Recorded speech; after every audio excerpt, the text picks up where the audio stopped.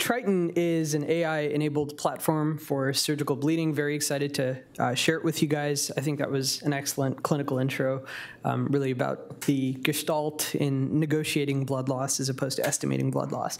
Uh, disclosures, I, I, founded the company, so I'm very conflicted. Um, just thought I should state that to be very clear. Be That's right. If you're not conflicted, you're not interested. Um, uh, we are digitally transforming the operating room with uh, an AI-enabled platform, and there's there's many many different things we can do with AI in surgery, uh, but we've really focused on bleeding uh, as the core. Um, we are supported by Providence Ventures, so the venture capital arm of Swedish and the rest of the Providence uh, healthcare system, as well as a few other investors, um, both in healthcare and in tech. Um, so the story starts out when I was in grad school. I was following some of my PIs around um, the operating rooms, and I asked a lot of naive questions. And one of those questions was, well, how do you know how much blood was lost, and, and how do you know how much blood to transfuse um, if you're just guesstimating the blood loss? So I saw arguments or negotiations happening on both sides uh, and both questions. I, I just can't help myself. Yeah. I'm so glad you're showing Dr. Hart losing a lot of blood. Yes. That's actually the next slide, uh, which is what I. no, this is a. I think this is a cardiac procedure. Um, um, and so what we noticed, right, as just a bunch of engineers watching surgery was, wow, that like that's a lot of blood. And we started to ask these questions. Well, how do you decide when to transfuse, whether or not to transfuse, and if so, how much?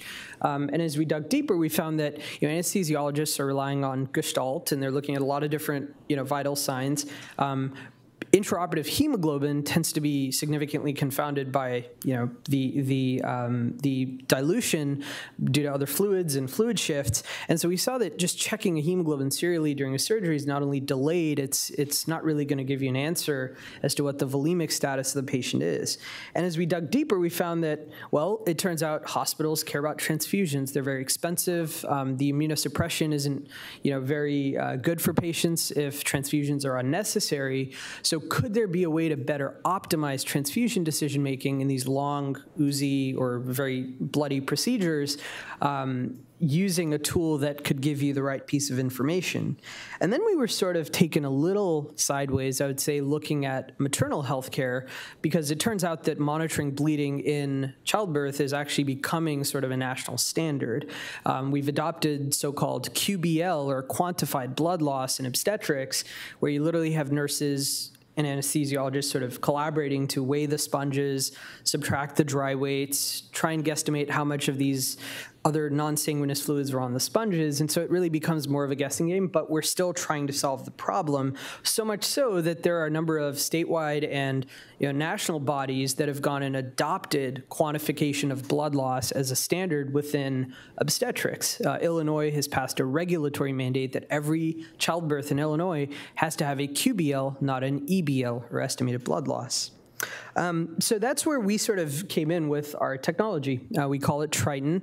And what Triton does is it uses the iPad, and it's powered by machine learning and computer vision algorithms uh, in surgery to scan the sponges and the canisters to tell you what the blood loss is. And specifically, it eradicates this practice of weighing, which is confounded by the invisible fluids, the amniotic fluid, the ascites, the saline, and we can essentially do this entirely photometrically. So we literally took an iPad and we turned it into a class two medical device. And yeah, it took seven FDA clearances over seven years um, to, to really bring this to market. But ultimately, it really just is a cloud-based app that you can download off the App Store. Um, the way the technology works is we're scanning these sponges, right, as, as they're being, they have to be counted so that we don't leave a sponge behind intraoperatively. And during that sponge counting process, we figured out how to sort of scan the sponge very quickly into the screen of the iPad using the front-facing camera, sort of taking a selfie, and from that instant image, we can actually quantify based on every single pixel that we're looking at what the hemoglobin mass is per pixel, and then we can sort of uh, relate that to the total blood volume held on that sponge at whatever preoperative hemoglobin that blood was at. Um, so here's a brief video of the technology and how it how it performs. Um, essentially, you have the, the sponges that come and sit around in the kick buckets, and then you have the suction canisters, which um, you know you mentioned look like Kool-Aid. And so we're basically just scanning the sponges in during the counting process. So it takes a second, uh, it fits right into sort of the surgical workflow, and it also acts as an aid in the practice of managing sponges. Uh, the scan the canister gets scanned. We're dialing the pre-op uh, hemoglobin and the total volume in the canister. And then anything like clots or chucks can be weighed using an integrated scale so that we have sort of a total blood loss. So you can weigh things that are not confounded by these other fluids. So what's the value of doing any of this? Um, you know, blood loss has been estimated, like I've always said, since the dawn of medicine. So what's the point of suddenly measuring it? Uh, well, we think that it can actually be a predictive indicator of what's happening in the surgery and where, you know, blood loss might be oozy, it may sort of slowly creep up on the team, and this tool can track it sort of in more of a real-time fashion so that we can then start to diagnose those, those cases that are bleeding at a, a much higher rate that we might have not previously recognized. Um, so this is really where we're trying to unlock the value with the system is really its data.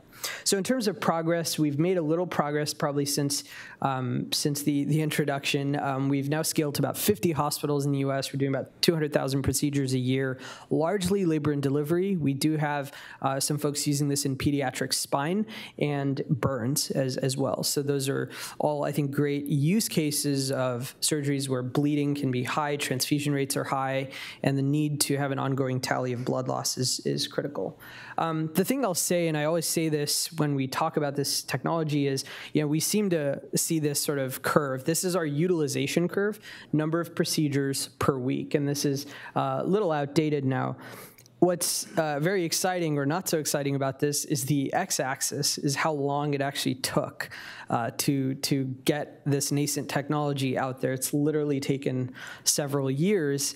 Um, we had you know a year in which we had one surgeon in the country using the technology a few times a week, and now it's sort of been able to scale up to the point where you, are seeing sustained growing utilization.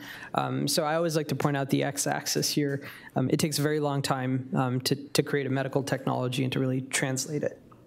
So now that we're on the path to bringing this into you know, clinical practice, how are we delivering value? Um, we've broken this down clinically into sort of three buckets. We've looked at recognition of hemorrhage. So in C-sections, we define hemorrhage as you know 1,000 cc's or greater, um, and that's the, the updated definition for both C-sections and vaginal deliveries. Um, we've looked at transfusion rates. You know, can we actually alter transfusion rates? They tend to be very low at baseline in the C-section population, so it's it's not quite the same as maybe a burn surgery. Um, and then we've looked at some downstream endpoints, um, which you know may be significant, but but may not actually be you know fully causal. Um, we've done four studies to date. Uh, the first and the fourth have been published, and the other two are still undergoing review. Um, this is sort of an early look at our performance improvement data. Um, what we've seen is a few interesting patterns, and I'll just share them at a high level. The first thing we've seen is that the detection rates of hemorrhage go up uh, significantly, and that sort of makes sense because if we've been saying that every C-section is 800 cc's, you know, since we began practicing, then it, it tends to make sense that okay, if you now actually start measuring it, you'll see something very different. So this has been very interesting for our existing installed base of devices. Now, secondary to that, we're actually finding that transfusion rates are dropping. Um, and not only are rates dropping, both the rates and or the dose of blood, if, if you are doing a transfusion, the dose seems to be much lower when Triton was present and being used as part of their decision-making process. So we think that this is a factor of real-time data helping enable real-time decision-making and more rational decision-making where instead of giving you know two units we might actually give one which leads to these lower averages um, overall And then we've seen some long, you know, long-term sort of downstream impacts. Um, we've seen associations and significant associations with length of stay being decreased. We think this is, again, somewhat related to many factors, one of them being reduced transfusion, one of them being just earlier decision-making and catching the bleeding, but it's hard to tell in a study uh, like this what exactly caused the reduced length of stay. So this is just data. We've thresholded the patients at four days uh, postpartum in, in these cases and seen that, you know, their, their um, length of stay overall was significantly less by, by whole days. So what we think is happening is that this device may be reducing bleeding, it may be reducing hemodilution, which would then lead to you know lower hemoglobins if we just waited, waited, waited, uh, and then lead to a transfusion. Um, and we think that this is also improving you know compliance with protocols. I'll give you an example. Um, there's a hospital on the East Coast, um, one of these study sites, that has used this technology now to set a rule that postpartum day one, um, the patient should not get out of bed if they lost a QBL greater than 1,000 cc's. And what they found was that their fall rate dropped significantly just based on that simple change. Um, previously, it was sort of left up to their best judgment. If you feel okay, feel free to get out of bed and, and use the restroom.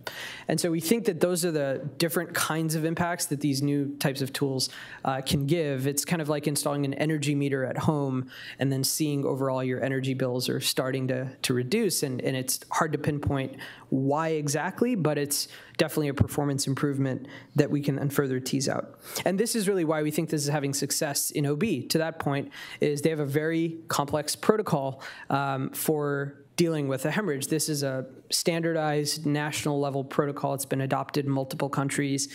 Um, and what these protocols do is basically use blood loss as the trigger for different stages of intervention in conjunction with other clinical signs. Um, I'm not sure if you guys are using these in orthopedics, but certainly in OB, this is you know what's been standardized, and so following this then accurately would require that central tenet, which is ongoing blood loss evaluation, to really be accurate, and that's where we're trying to drive a performance improvement by just enabling this protocol.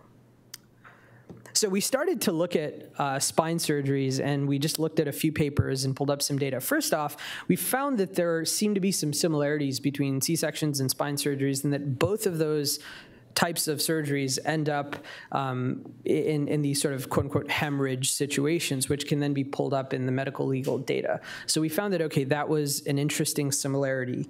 Um, the second trend we saw was that, you know, of all the different orthopedic cases that we've looked at, um, spine surgeries tend to be relatively more more bloody. And, and, and this is again based on certain data sets that we've also looked at minimally invasive surgery now coming into spines. Um, the third trend that we're finding is that you know if you're doing a multi-level case, the more levels, the more blood. That probably makes intuitive sense, but you know a few folks have measured these in in different studies. Um, and then lastly, we found that you know, MIS is being associated with lower blood losses um, and significantly decreased rates of transfusion. So I'm preaching to the choir here. I think what's interesting here is that uh, two things I'll point out. The first one is that many uh, surgical studies for new interventions or devices, they tend to use EBL as an endpoint in their surgeries. Um, and, and that's an endpoint we think we can start to make a lot more um, quantitative by using this technology. We can actually redefine whether or not a new technique is actually as low bleeding as we think it was. Um, the second thing we, we, we, found is that there are many um, you know, instances in MIS and in our conversations with Dr. Rowe that that perhaps this tool could still be useful in a minimally invasive setting because you still have multiple incisions and because the bleeding is just oozy and, and, and longer term and may even extend postoperatively. Um, so to that point, we've started to dig deeper into spine, and, and we found that in PEDS cases, you know, this is a low volume type of surgery, so it's not a huge market for a technology like this, um, but it definitely has a higher clinical need, and we've seen that with uh, uptake of our system, uh, regardless of whether TXA was was being used. Um, and then just at a high level, we also have to consider the differences in care in a spine case that, that you wouldn't really see in a C-section. Um, so TXA, uh, cell salvage, and uh, I guess we're not using tourniquets and spines, but just in general in orthopedics, uh, you have these different types of interventions that you're not seeing in other, other types of surgeries. So that's an interesting element to consider when implementing a technology like this. So where are we going with this more broadly? I'll just give you guys a very high level view. We think that beyond bleeding, we can actually use AI on this platform in very different ways. One of them is actually sponge counting. And so we've built a pattern recognition algorithm that uses deep learning, actually uses the blood patterns on every sponge to make sure that you counted the sponges correctly. So it's kind of a different spin on this idea of sponge counting using barcodes or RFID tags, but this is using software alone. Uh, we also think we can then start to digitize these hemorrhage protocols. So if we take the obstetrical protocol, turn it into an application, uh, we think we can actually start driving it sort of like a GPS using the very same mobile device in a surgery. That makes it easier for the nurses, it makes it more uh, easy to comply with the system. And finally, we think that there might be views of the same data that can actually be predictive. So what if you could, as a surgeon, have a real-time dashboard of this specific multi-level spine case with your blood loss uh, as a trend, and then compared to maybe the national average of blood losses or your own previous historical average. So we think there are interesting ways of displaying the same data around bleeding, since it, it tends to be a vector for sort of how the surgery is going and whether there's risk involved. Uh, and we know surgeons are very competitive, so we think this type of data may actually help make the conversation about blood loss more interesting uh, and actionable during a case. That's all I have. Thank you.